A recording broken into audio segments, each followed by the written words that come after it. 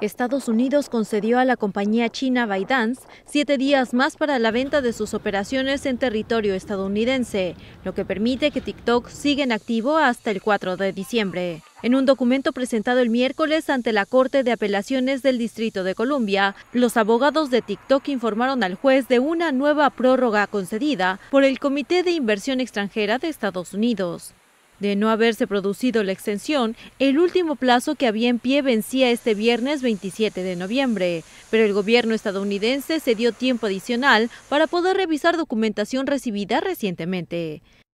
En septiembre, las firmas estadounidenses Oracle y Walmart acordaron que se harían con el 20% de TikTok Global, una nueva empresa con sede en Estados Unidos que dirigiría el servicio de la aplicación en todo el mundo, aunque aún está por negociarse cuál será la participación que seguirá teniendo ByteDance en TikTok. El caso se remonta a agosto pasado cuando el presidente de Estados Unidos, Donald Trump, emitió una orden ejecutiva en la que decía que el negocio estadounidense de TikTok debía ser vendido a una empresa del país o que de lo contrario sería vetada, argumentando que lo que quiere es evitar que los datos de los estadounidenses que usan la aplicación sean compartidos con el gobierno de China.